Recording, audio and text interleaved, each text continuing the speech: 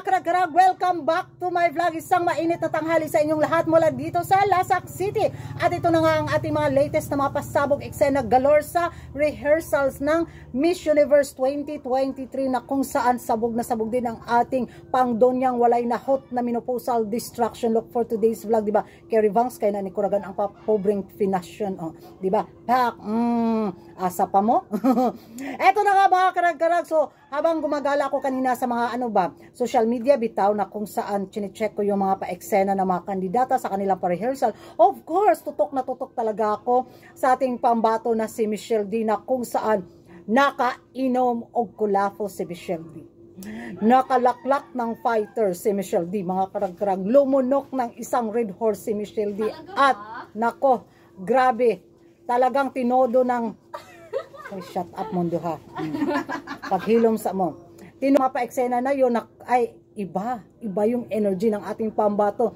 Kung nakita natin si Michelle D sa kanyang laban noon sa Miss Universe Philippines 2023 na medyo kulang bitaw sa pitik. Mm, pitik, diba? Pitik. So, Michelle Marquez di Pilipinas!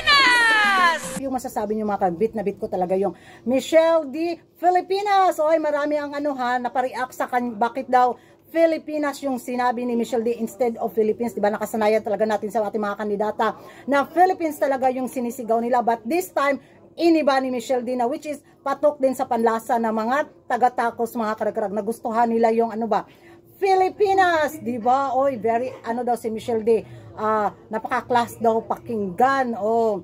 So, maraming sumusuporta sa kanya nung sinabi niya, Filipinas! Instead na, Philippines, ay ako din, gusto ko rin.